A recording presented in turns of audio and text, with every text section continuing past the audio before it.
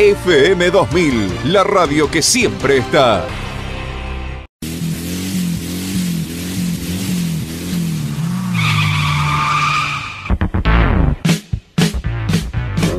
Llegó el momento de encender los motores. Comenzamos la vuelta previa y largamos con Derrapando. Toda la información del deporte motor de la región, la provincia, el país y el mundo en un programa hecho por y para apasionados.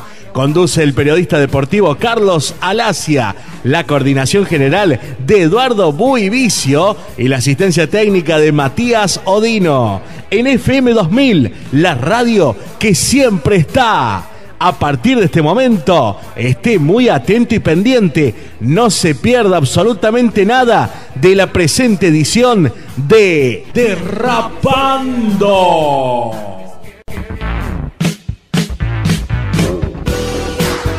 Hola, hola, hola, muy, pero muy buenas tardes, mis estimados amigos oyentes de Derrapando. Realmente, realmente mucha información para el día de hoy. No tenemos ninguna nota larga como la de ayer, al cual muchísima gente le gustó y me habló de la nota que hicimos ayer, eh, y de la simpleza y el diálogo y las respuestas y el fácil de entender para todos y la visión de nuestro entrevistado. Bueno, realmente mucha, mucha gente que, nos llamó, que nos habló, que nos mandó WhatsApp hablando del programa del día de ayer. Hoy vamos a tener, no un audio largo, cuatro más cortos, pero jugosos, pero picantes. Algunos nuestros, otros que nos mandan, directores de equipos o gente que ligada o periodistas, colegas. Hay bastante para hablar en el día de hoy y además bastante para hablar desde la Fórmula 1 hasta las categorías regionales, algunas de las cuales tienen varias ideas dando vuelta sobre qué es lo que se puede hacer y qué es lo que puede llegar a, pasar en el año próximo, siempre y cuando este Omicron, creo que así se llama o se pronuncia el, la nueva faceta eh, que tiene el coronavirus, eh, el COVID-19, dejen que la actividad deportiva se desarrolle normalmente. Inclusive alguien que es argentino, que tiene licencia internacional, hablo del deporte de dos ruedas, hablo de las motos, que fue invitado a participar en dos fechas del Mundial, invitado por la FIM, por la Federación Internacional de Motociclismo, el año próximo, y que la Confederación Argentina de Motociclismo Deportivo no le quiere renovar la licencia. Enterado de esto, lo llamaron de otro país y le dijeron, si Argentina no te autoriza ir al Mundial, venís y participás con la licencia nuestra, así como usted lo escucha. Pero eso se lo cuento dentro de un rato. Ahora vamos ya a la primera pausa comercial. Y, ah, le quiero decir algo. Una vez más, gracias a nuestro señor operador, un monstruo Matías Odino. Esta mañana necesitábamos una nota de la semana anterior eh, porque lo necesitábamos para un colega que bueno, lo había escuchado, nos había pedido para un programa, además también para ponerlo en otro de nuestros programas asociados. Y en un ratito Matías Odino dijo, acá está, gordito, pla, pla, pla para vos, como siempre lo digo, sos un genio. Servino Diesel, taller especializado en reparaciones de equipos de inyección diésel, bombas inyectoras, Common Rail, inyector bomba y todos los sistemas electrónicos Contamos con equipamientos de precisión para diagnósticos, reparaciones y reprogramaciones. Somos servicio oficial Bosch y Delphi. Servino, nombre ligado al diésel, por más de 50 años de trayectoria. Boulevard Moreno 395, Hernando Córdoba, teléfono 0353 4960 465. Bianchini Suspensión Venta de repuestos, frenos, dirección, amortiguadores y neumáticos. Una larga trayectoria respalda nuestro trabajo con el servicio técnico especializado de Abel Pocho Carregio en alineado y balanceado del automotor. Acompañando a Eduardo Lulilo Bianchini en el Turismo Nacional Histórico. Carlos Pellegrini 175, teléfono 0353 4960 738, Hernando.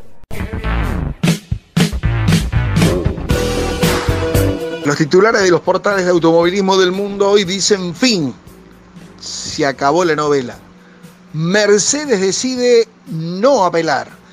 A punto de cumplir el plazo para entregar la apelación, el equipo Mercedes comunicó que no continuará con el recurso y cierra el capítulo de las reclamaciones. Cuatro días después del Gran Premio de Abu Dhabi, Mercedes decidió no seguir adelante con su apelación sobre las decisiones tomadas por el cierre de la competencia que terminó coronando a Verstappen con el Red Bull por encima de Lewis Hamilton con Mercedes-Benz. La escuadra alemana comunicó este jueves, posterior al cierre del Mundial, que recibía con satisfacción la iniciativa de la Federación Internacional del Automóvil de investigar los acontecimientos del domingo y que ya no considera necesario ya no considera necesario seguir adelante con sus acciones. Todo se produjo en el marco del safety car que provocó el accidente de Nicolás Latifi, que le permitió a Verstappen recortar distancia y largar a la par de Hamilton con el agregado de que el holandés hizo una parada a cambiar neumáticos nuevos y el inglés no. En todo ello no hay mayor discusión y todo se termina decantando por una cuota de fortuna y la decisión más o menos arriesgada que cada equipo asumió con el cambio o no por cubiertas de caucho fresco. El empeño por reclamar estuvo enfocado en el procedimiento de reinicio que condujo al director de carrera Michael Massi. Mercedes citó artículos del reglamento deportivo indicando que Verstappen superó momentáneamente a Hamilton cuando se dirigía al relanzamiento y el apartado que detalla el proceder cuando los autos con vueltas menos superan a todos para recuperar la vuelta. El mismo domingo, la FIA desestimó estas interpretaciones y por ello Mercedes presentó la intención de apelar la decisión. Sobre el primer tema, la FIA respondió, ambos autos estaban apretando y soltando el acelerador y que había un millón de precedentes bajo safety en que los autos se habían puesto al lado y luego habían retrocedido detrás del que estaba delante. Por lo otro, se reconoció que la normativa puede no haber sido aplicada en su totalidad, pero que una vez que se ha mostrado el mensaje coche de seguridad en esta vuelta es obligatorio retirar el auto de seguridad al final de esa vuelta. La notificación FIA también dice que no obstante, la petición de Mercedes de que los comisarios corrijan el asunto modificando la clasificación para reflejar las posiciones finales al final de la penúltima vuelta es un paso que los comisarios consideran que efectivamente acorta la carrera de forma retrospectiva y por lo tanto no es apropiado. En consecuencia, se determina la protesta. Aunque esto seguirá siendo tema candente, la FIA anunció que investigará el final de la carrera de Abu Dhabi para callar voces y terminar con la controversia sobre el campeonato mundial. Tras ello, Mercedes confirmó que no presentará apelación y con ello se concluye el tema. Fin de la historia.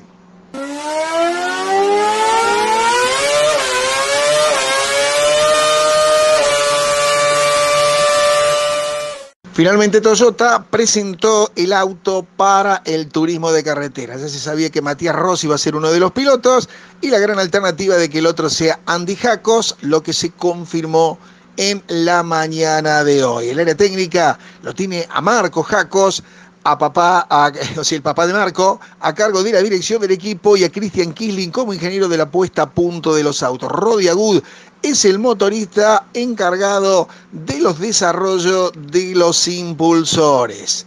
Matías Rossi dijo, fueron dos años fuera de la categoría y volver con un proyecto tan interesante y novedoso hay que reconocer que nos sorprendió todo. Le pido disculpas a los fanáticos que están reacios con el ingreso de Toyota, pero venimos a trabajar y sumar con una empresa que apuesta fuerte al automovilismo. Uno ingresa sabiendo que es un proceso, sé lo difícil que fue adecuar la competitividad de las marcas y Toyota tendrá un periodo de adaptación para no quedar ni a favor ni en contra. Toyota me pone en una posición muy linda de aprendizaje y espero que nos vaya bien y sea bueno para todos. Por su parte, Andy Jacos dijo, es una locura, un sueño hecho realidad. Desde chiquito cuando empecé en karting uno soñaba con debutar en turismo de carretera y ser piloto oficial. Y que se haya unido eso era impensado. Obviamente estoy muy agradecido con Daniel Herrero y todos los que me apoyaron en este proyecto. Sé que con Matías Rossi al lado voy a seguir aprendiendo y queremos llevar la marca lo más arriba posible. Uno mira la inclinación del parabrisas, el parabrisas delantero y la luneta trasera o el parabrisas trasero, como usted le quiera decir, y qué complicado que la va a tener Juliano para igualar este auto con los actuales del turismo de carretera. No estoy en contra de lo de Toyota, pero bueno, es una generación totalmente distinta. AgroArc SRL, una empresa con visión de futuro apoyando el deporte mecánico de Hernando y alentando a sus pilotos. Nicolás Maestri en el TC Pista Mouras, Federico y Luciano Maestri en el karting provincial. AgroArc SRL. Mecánica Carregio, tecnología de punta, taller computarizado, mecánica en general, Lubricentro, acompañando a su piloto Carlos Falvo en el Turismo Nacional Histórico Cordobés. Los lubricantes Puma están especialmente formulados para darle a tu motor toda la protección y seguridad que necesita. Conseguí toda la línea de lubricantes Puma en Cooperativa Agrícola La Vencedora, agente exclusivo de Puma Energy.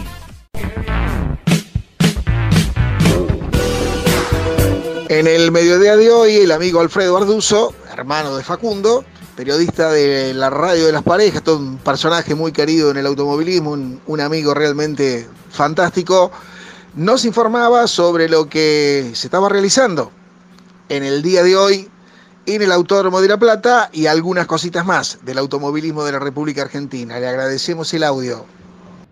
Hola amigos de Ferrari 2000, abrazo grande para Carlos Galacia, para todo el equipo de la radio. Comentarles eh, que en la mañana de hoy en el Autódromo Roberto José Moras de La Plata.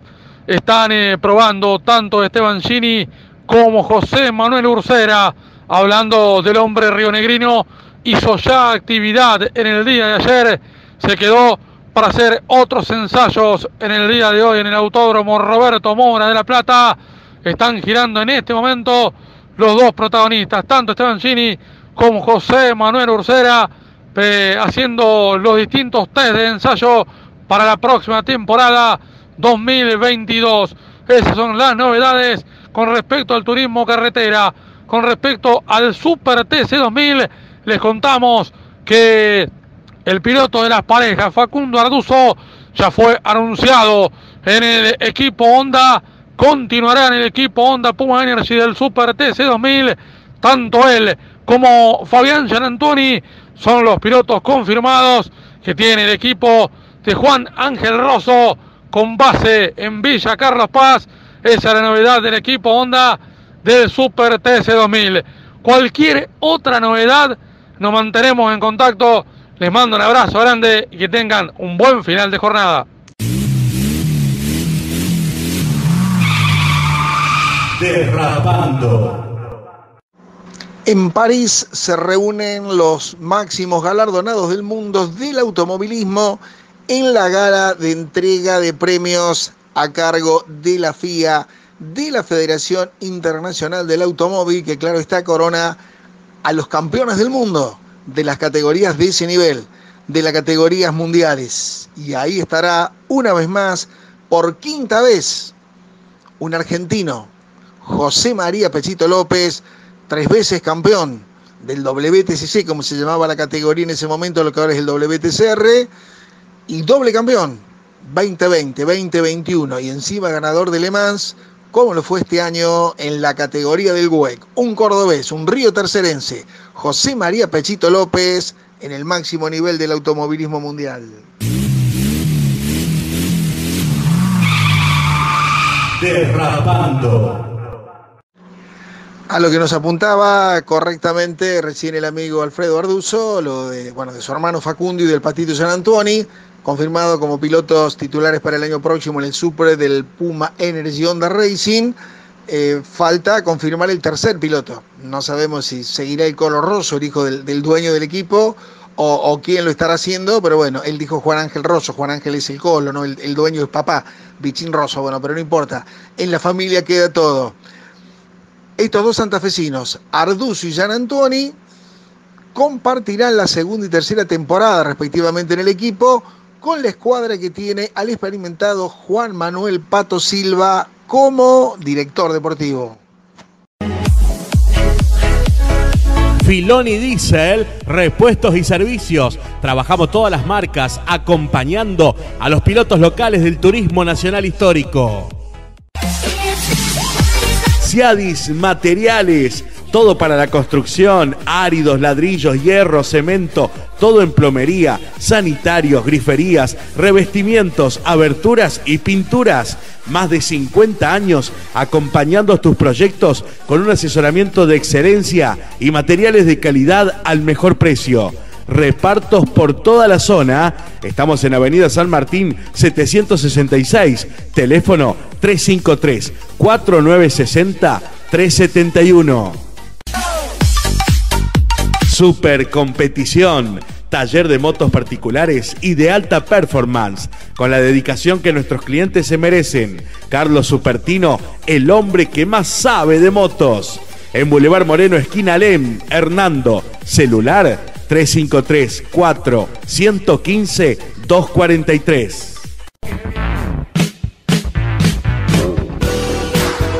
Mercedes-Benz confía en que Hamilton no dejará la Fórmula 1 pese a su desilusión. Toto Wolf, el jefe de Mercedes, espera que el piloto inglés no abandone la categoría después de que ambos quedaron desilusionados tras el final en el Gran Premio de Abu Dhabi. Epa, estaban con tanta ilusión mientras ganaban, el primero que perdieron ya se quieren ir.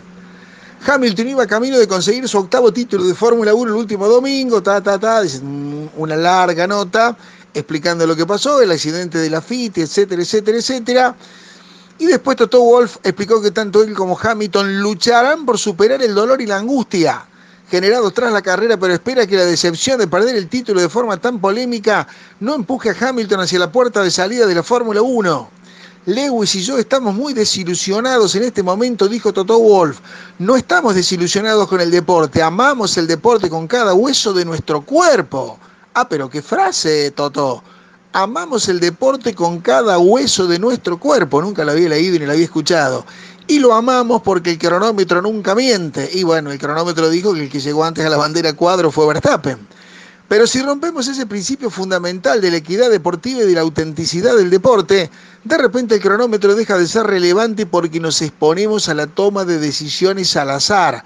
Está claro que eso puede hacerte desenamorar del deporte y empiezas a cuestionar si todo el trabajo que has estado haciendo, el sudor, las lágrimas y la sangre pueden realmente demostrarse en llevar las mejores actuaciones en la pista porque se puede quitar el azar. Nunca superaremos el dolor y la angustia que se causó el domingo. Me gustaría mucho que Lewis siguiera corriendo porque es el mejor piloto de todos los tiempos, añadió Wolf. Totó, Totó, acá, mirá. Mejor que Hamilton. Hubo un tal Juan Manuel Fangio un tal Ayrton Senna, un tal Jim Clark, muy posiblemente si no se mataba tan joven, un tal Jochen Ring, y puedo hacer algunos otros nombres más, que ganaban con un auto que no era el mejor, que ganaban con un auto que no era el mejor. Todos los títulos, ¿sí? Todos los títulos que ganó Hamilton con Mercedes, un auto que, como lo vengo diciendo, era ocho décimas a un segundo más rápido que todos los demás. E incluso no los ganó a todos, porque uno se lo ganó Nico Rosberg. Y cuando tuvo por primera vez un auto que lo corrió más o menos parejo, perdió el campeonato, como este año, y ganó dos carreras menos que Verstappen, como sucedió este año. Entonces no es el mejor de todos los tiempos. Fangio les ganaba, recordar el Gran Premio del 57, ¿no? Aquella carrera en Alemania donde hasta se bajó, perdieron una tuerca cuando cambiaron las gomas, tuvieron que ir a buscar una al box, salió varios minutos atrás y les alcanzó a la Ferrari y le ganó el campeonato, el quinto campeonato del mundo. Senna ganó con un Toleman. Hamilton con esos autos no ganaba nunca. No es el mejor. Entonces, bueno, estos fanatismos, lo mejor que podrían hacer, ya que levantaron la apelación, es, es callarse la boca. Realmente es callarse la boca. Volviendo a lo que dijo Toto Wolf, cuando lo miras desde el punto de vista de las últimas cuatro carreras, la del domingo no hubo ni siquiera una duda de quién ganó la carrera y eso fue digno de ganar el campeonato del mundo. Ah, yo quisiera agregar que este Toto Wolf nada dijo después de los episodios, los tres, por citar tres, hay más, de Silverstone, de Monza y también el de Hungría. Ahí Toto Wolf no dijo nada. Y yo estoy convencido de que es así, porque también desde hace rato vengo hablando mal de Masi y lo demostró el domingo. O sea que una vez más tenía razón, y no es por decir tenía razón, los años en esto a uno le hacen ver cosas y darse cuenta de cosas que suceden. Todo estaba bien para Mercedes cuando todos llevaban agua para su molino. Cuando un día se le puso, como dice el viejo dicho campero, el viento del lado de la puerta, Mercedes hace cosas como esto, quiere apelar, se enoja, tira los auriculares, después no apela nada, salen a decir las cosas que dijeron y encima no van a la entrega de premios de la FIA, lo que yo supongo que por lo menos les valdrá una multa. Sigue diciendo Toto Wolf, así que vamos a trabajar a través de los eventos en las próximas semanas y meses y creo que como corredor su corazón le dirá que tiene que seguir porque está en el mejor momento de su carrera, pero tenemos que superar el dolor que le causó a Hamilton el domingo también porque es un hombre con valores claros y es difícil de entender que haya ocurrido. Toto Wolf agregó que Hamilton fue partícipe de las dos decisiones de apelar y luego retirar el proceso y añadió que ninguno de los dos quería asegurarse el título de campeón en un juzgado. ¿Y entonces para qué querían apelar? Recién hoy jueves dijeron que no. ¿Cómo? El lunes, martes y miércoles y domingo a la tarde no querían ser campeones en un juzgado. ¿Para qué llevaron abogados expertos en deporte y en legales a la carrera? si no querían ganar el campeonato en un juzgado. Realmente muy triste esto de Mercedes, muy triste. Dijo que al equipo le resultó increíble retirar la apelación al sentir que recibió una mano cruel por las interpretaciones improvisadas del reglamento deportivo durante la carrera de Abu Dhabi. Aquí podemos estar un poco de acuerdo. Pero bueno, es más de Masi. Reitero lo que dije recién, mientras Masi fallaba todo a favor de Mercedes, Wolf no decía nada. Ahora es un escándalo. Cada paso en el camino fue una decisión difícil, explicó Wolf. Decidimos juntos con Lewis protestar, presentar la apelación y luego retirarla. Como puedes imaginar, no solo para él, sino también para nosotros como equipo, fue terrible enfrentarse a una decisión que decidía el resultado del campeonato del mundo. Pero ninguno de nosotros, ni él ni nosotros, queríamos ganar un campeonato del mundo en un juzgado. Pero en el otro lado fuimos profundamente agraviados el domingo. Para de llorar, Wolf. Y no fue solo un caso de mala decisión, fue una lectura improvisada de las reglas y dejó a Lewis como un blanco fácil. Alguien escribió ayer, siguen llorando las Merceditas, ¿no? Como aquella canción famosa folclórica de hace algunos años. Y reitero lo que vengo diciendo durante toda la semana, esto no es ponerme ni del lado de Verstappen, ni de la FIA, ni de Masi, ni de Red Bull, ni en contra de Mercedes. Es simplemente leer la realidad de lo que vino pasando a lo largo de todo el año. Les vengo hablando de Masi desde Silverstone y sus malas decisiones. Este Masi, director de carreras, que tomó el lugar del fallecido Charles Whiting, que con esto no pasaba. Pero le quedan a Masi enormes los zapatos de Charles Whiting. Y también le queda enorme aceptar la derrota a la gente de Mercedes. Viejo Tala SRL, concesionario oficial de tractores Pauni, cosechadoras Basali y Don Roque. Consúltenos por toda la línea de créditos en pesos para todas las marcas. Contamos con stock permanente de repuestos originales y servicio técnico especializado. Y ahora en Viejo Tala somos SKF Agristore, único centro de distribución agrícola de toda la gama de productos SKF y PIR. Consúltenos por presupuestos para la próxima campaña de reparación Viejo Tala SRL, en la esquina de Boulevard Moreno y Belgrano, Hernando. Teléfonos 0353-4962-995 o 4962-801. Viejo Tala, siempre junto al amigo productor. Servino Diesel. Taller especializado en reparaciones de equipos de inyección diésel, bombas inyectoras, Common Rail, inyector bomba y todos los sistemas electrónicos. Contamos con equipamientos de precisión para diagnósticos, reparaciones y reprogramaciones. Somos servicio oficial Bosch y Delphi.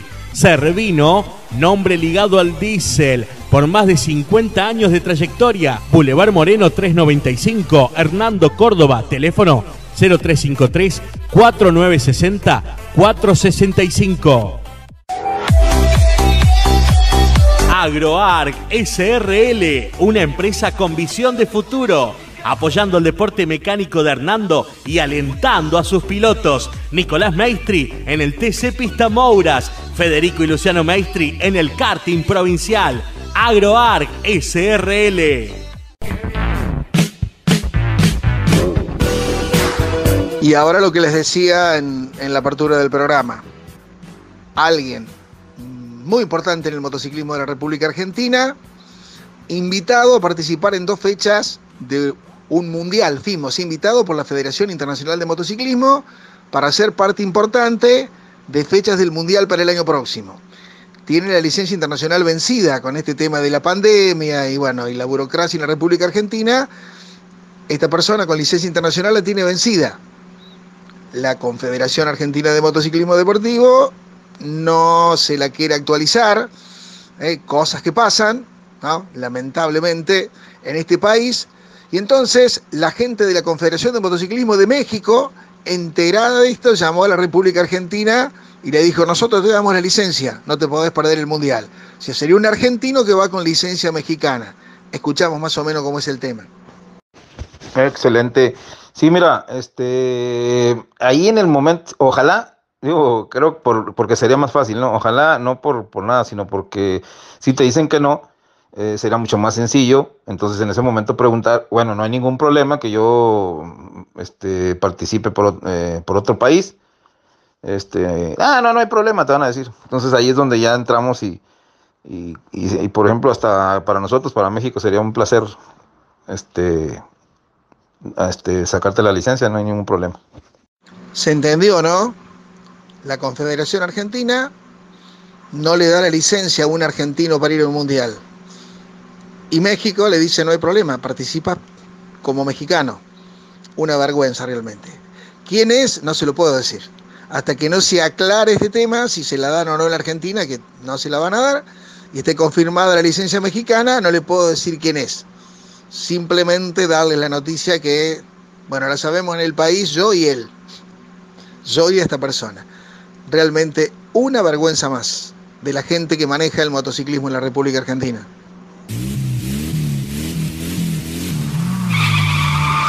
Derrapando.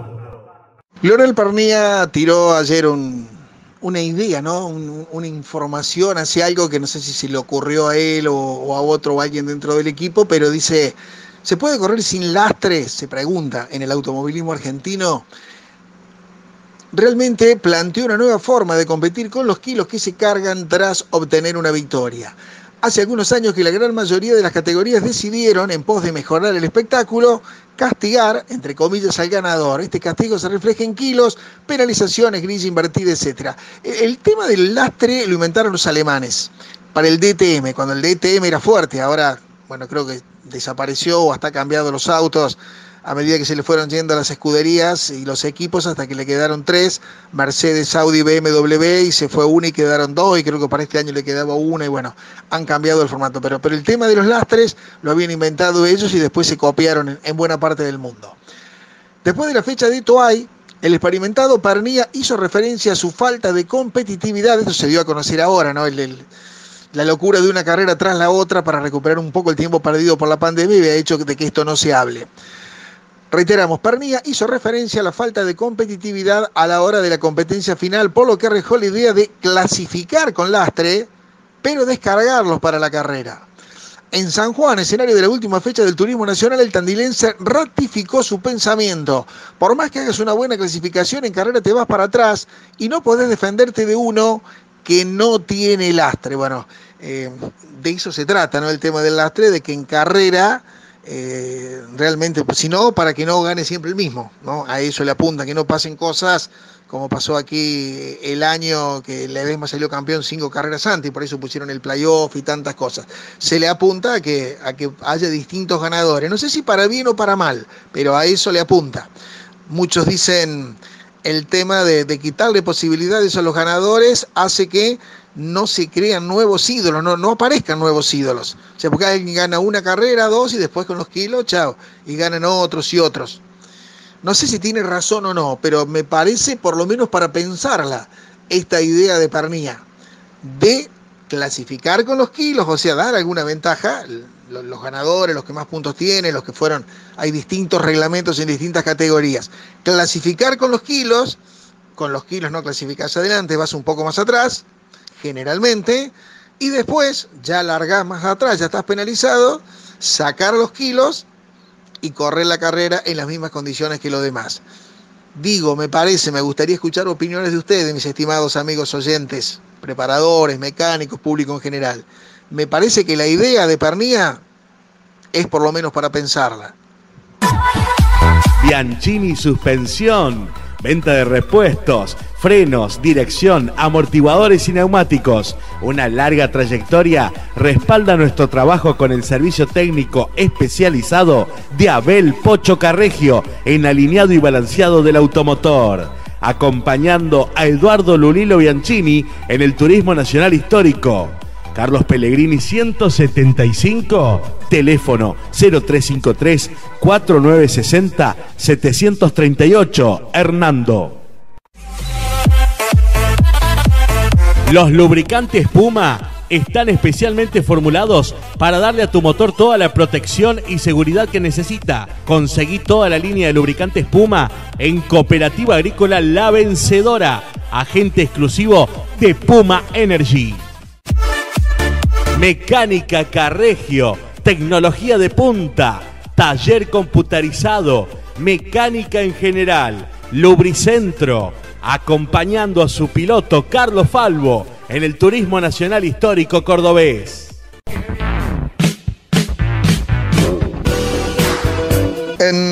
creo que fue día miércoles, hoy es jueves, martes, la verdad que nos acaban de proponer otro programa más, hacer algo más en otra ciudad. Tenemos que reorganizar el año próximo. Por suerte que haya mucho trabajo, ¿no? Y bueno, después de, haber estado parado tanto tiempo por la pandemia, ahora sale todo junto. Eh, un programa breve, otra cosa. Obviamente nuestro, nuestra cabecera, con el cual estoy absolutamente cómodo desde Rapando.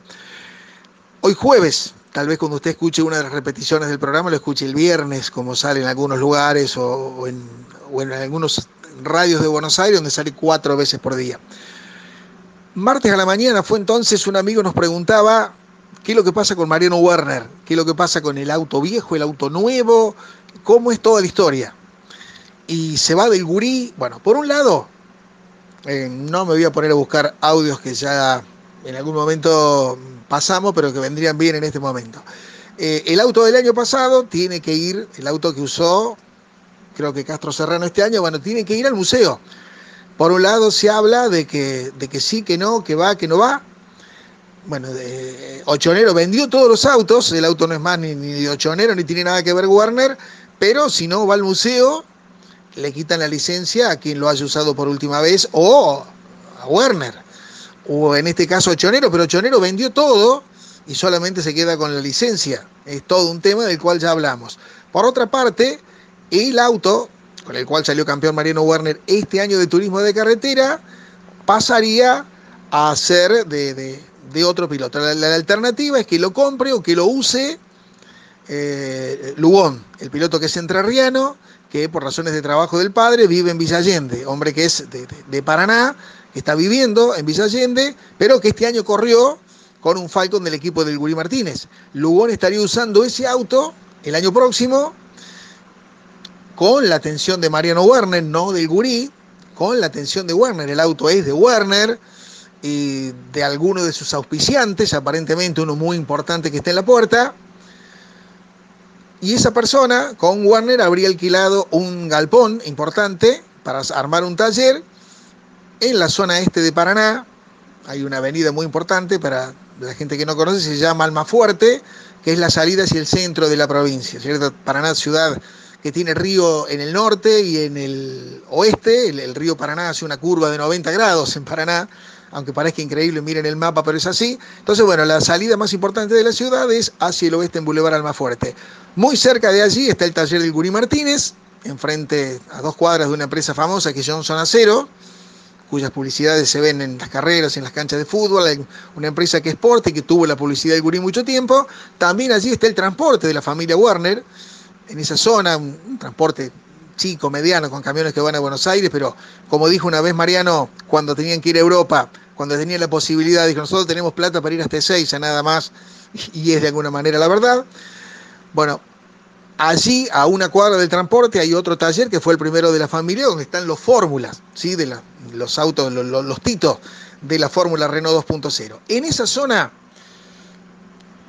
Mariano y la gente de Recicler, es la publicidad a la cual me estoy refiriendo, habrían alquilado, habrían, estoy hablando en potencial, yo esta noche tengo una despedida de año, una cena, donde me voy a enterar de alguna cosa más sin ninguna duda y, y prometo contárselas mañana en la medida que sepa o que pueda averiguar algo más, que seguramente, porque hay gente de esa zona que, me va a contar, habrían alquilado un galpón, ¿dónde estarían? El nuevo auto de Mariano Werner, hacen un auto nuevo, el anterior auto de Werner para Rodrigo Lugón, se había hablado hace unos días de todo esto que le estoy diciendo son primicias, no lo tiene nadie, de que le atendieran un turismo nacional a Mauricio Lambiris, o sea, esta misma gente de Warner atenderle un turismo nacional a Mauricio Lambiris, y un cuarto auto que sería para el campeón del TC2000 2020, también paranaense, que es Ezequiel Bastidas, el, reglamento deportivo del TC2000 dice que el, el Super le tiene que dar un auto para que corra el año siguiente o ayudarlo por lo menos con una parte.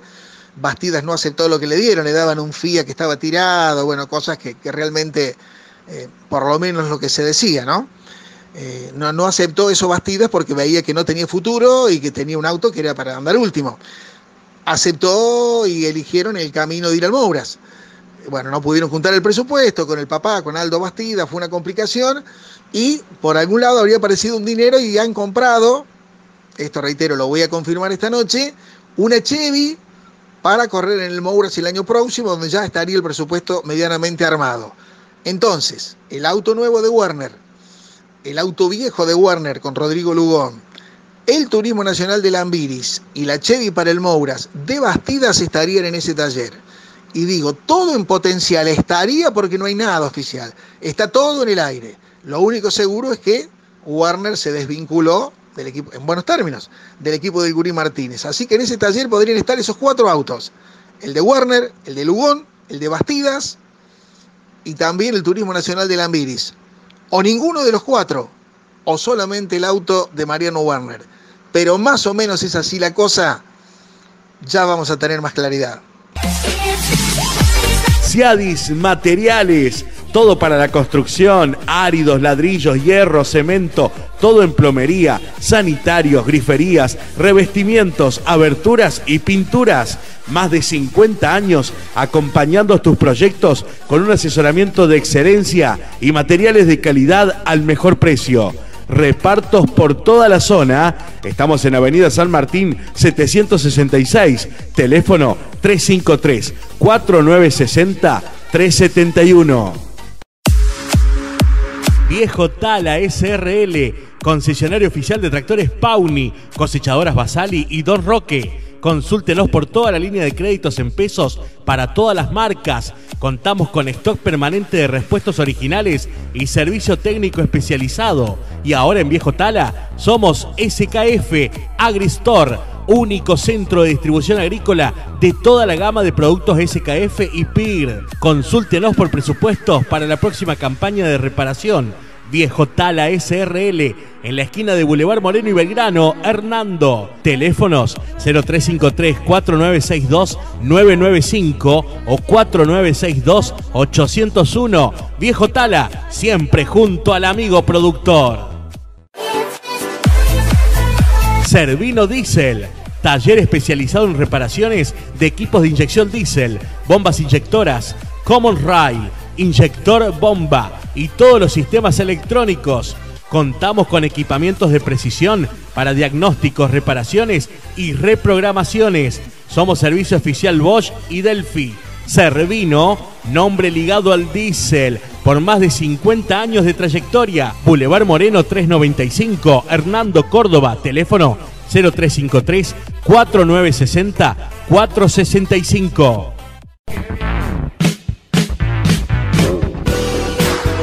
Comenzamos el bloque 7 con, un poquito de humor, algo que cada vez nos piden más. Y este, este humor dedicado especialmente a, una persona oyente de la ciudad de Rosario, que, está, que nos escucha todos los días, que le gusta mucho el programa y que, bueno, espera el momento de, humor que, que le gusta mucho, que dice que es uno de los, de los mejores momentos tal vez del programa. Así que un poquito de humor lo escuchamos al, al humorista de San Francisco, en la provincia de Córdoba, al popular Rengo, como todo el mundo le dice, y el cual él se ríe, además es discapacitado, anda en muletas, un personaje como es el Rengo Quinteros. Y el tipo, el médico, y otro tengo un problemita, ¿qué pasa, mi amigo?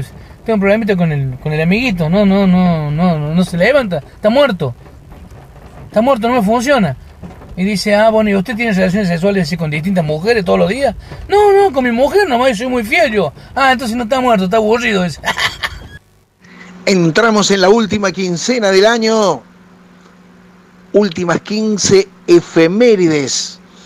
Hechos acontecidos. Un 16 de diciembre del año 1922, la primera travesía del desierto del Sahara en automóvil tuvo como protagonista un Citroën. La fábrica francesa lograba llamar la atención del mundo. Iniciaba con cinco autos oruga la primera travesía por el desierto del Sahara, que culminaría con éxito el 7 de enero del año 1923. La aventura comenzó partiendo de Touareg, en Argelia, George Mary Hart y Louis Andrew Durul, con un equipo de 10 personas, la mayoría militares y un geógrafo. El destino era Tombuctú, en Sudán. Al final de la Primera Guerra Mundial, se originó la idea de un proceso de unión segura y rápida entre la Francia metropolitana y África Ecuatorial. Era una seducción para los colonos industriales y un encuentro, un eco muy favorable para tener medios y réditos tanto militares como científicos. Una gran idea para la época que el automóvil al fin podía ser posible. Confiando en su material, Andrés Citrón está seguro de que ese recorrido puede hacerse en apenas 20 días. Los hechos y la historia le dieron la razón. Año 1945 fallecía Giovanni Agnelli, socio y fundador y artífice, además de Fiat, que es la única fábrica de las que comenzaron en esa época que no tienen el nombre del fundador, ¿no? Recién hablábamos, bueno, de Citroën, de Peugeot, de Bugatti, de, Maserati, de tantísimo, de Ferrari mismo, de Lancia, que es el apellido del fundador. No en el caso de Fiat, ya que Fiat quiere decir Fábrica Italiana de Automóviles de Turín. Fábrica Italiana, Automóviles de Turín. Y en esa ciudad fallecía en el año 45, un día como hoy, Giovanni Agnelli, artífice de la evolución de la marca. Trabajó tanto en la parte deportiva como en el sector automotriz, trascendiendo desde su cargo para convertirse en un símbolo del emprendimiento italiano. Fiat, la gran marca italiana que ha absorbido a varias marcas de automóviles, entre ellas tantas a Ferrari. Había nacido en una ciudad muy conocida del norte de Italia, donde vino mucha gente, muchísimos italianos, a poblar esta República Argentina, Villar Perosa. El 13 de agosto de 1866, su nieto fue su sucesor en FIA, quien transformó la marca italiana en un imperio automotriz, fallecido en el año 2013, el nieto a los 82 años de edad. Bueno, uno de los, de los nietos de este, de un sobrino, perdón, de este Agnelli, bisnieto del fundador de la fábrica, es Cristiano Ratazzi, hijo de, una de las hermanas, son, creo que eran tres hermanos, esta última generación de Ratazzi, esta última generación de Agnelli, nietos de aquel fundador de la fábrica, y bueno, eh, este se llama Ratazzi porque es hijo de la hermana.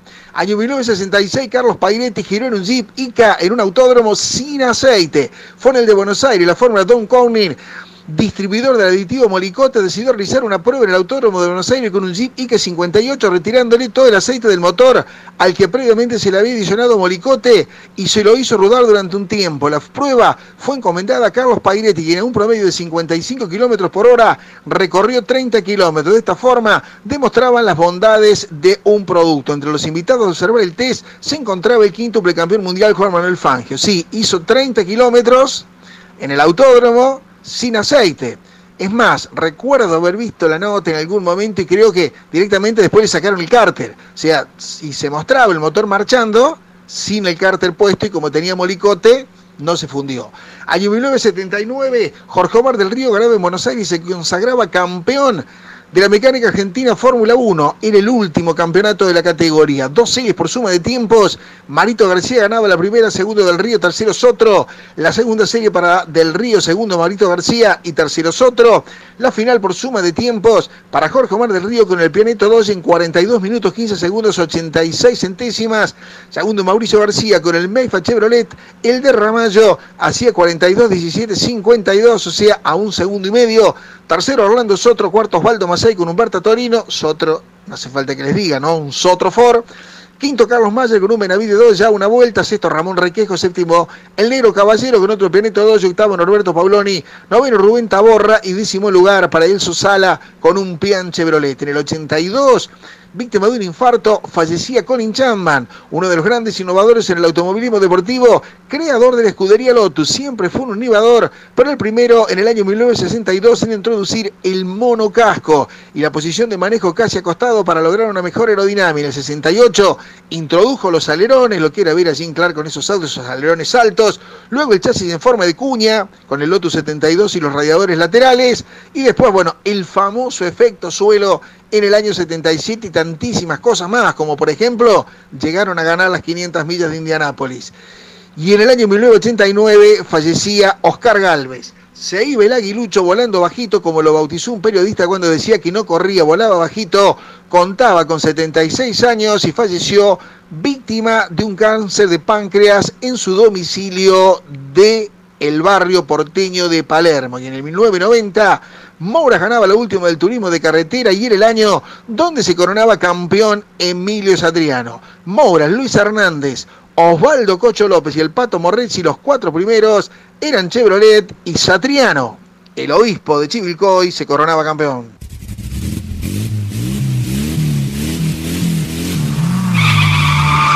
Derrapando.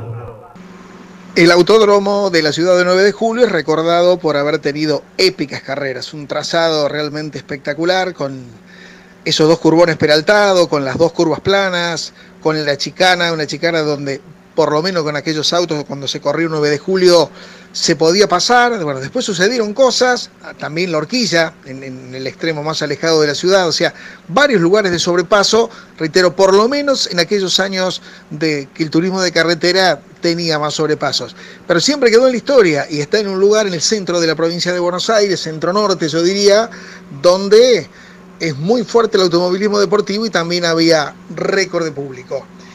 Y bueno, ¿qué pasó ahora?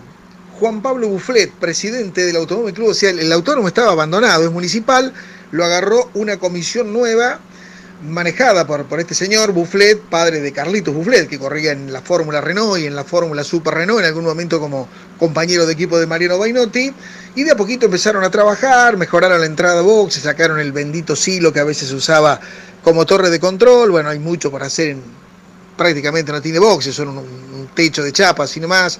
Le falta mucho, pero el trazado está, quieren repavimentar. Y bueno, y para todo eso habían hablado con la CTC. Y ahora el contacto es más estrecho. Entonces Bufflet dijo, esto en el día de ayer, nos sorprendió gratamente la visita de los dirigentes de la ACTC. Esto era algo que habíamos pedido antes de la pandemia y recién ahora se pudo concretar nos quedó una muy buena imagen de Fernando Mion y Roberto Argento. Por eso somos optimistas de que vamos a llegar a un acuerdo para un tiempo no muy lejano. Ahora quedamos a la espera del informe que emita, del informe que emita la CTC, la interrector de la categoría, para comenzar a trabajar sobre el presupuesto de las obras que serán necesarias. Bueno, hay que repavimentarlo todo como primera medida. Yo estuve no hace mucho en una carrera el 9 de julio, digo no hace mucho antes de la pandemia, y el piso estaba, ayer hablábamos de Río Cuarto, bueno, el de 9 de julio está bastante peor. Y además le falta mucho toda la parte interna 9 de julio. Pero bueno, si aparece el dinero, 9 de julio estaría nuevamente en, en la mira del turismo de carretera y por supuesto de atrás de ellos las otras categorías, por supuesto. Ojalá se recupere un trazado de esos de los de antes anchos, rápidos, donde los autos realmente se pasan.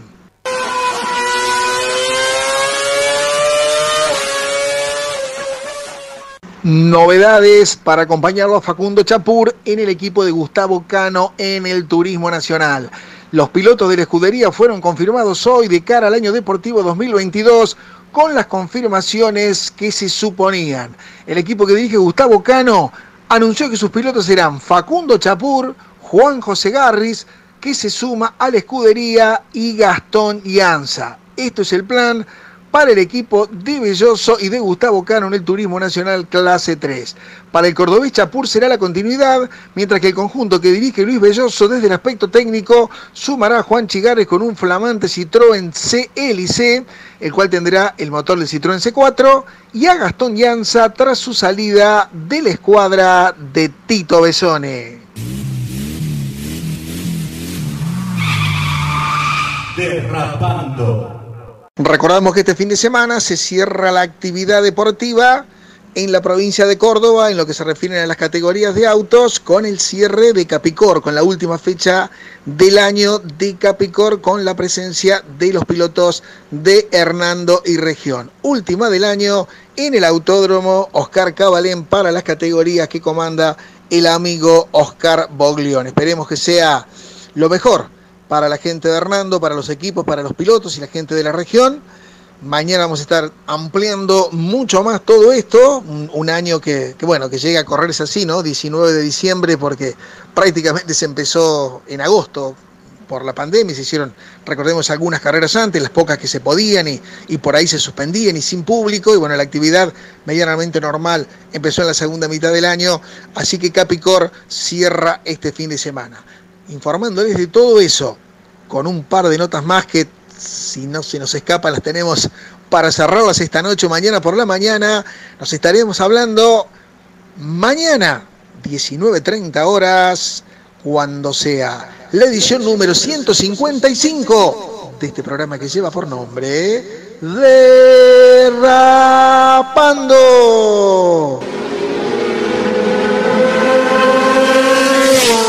Finalizamos la presente edición de la información del mundo del deporte motor. Gracias por acompañarnos. Será hasta el próximo programa.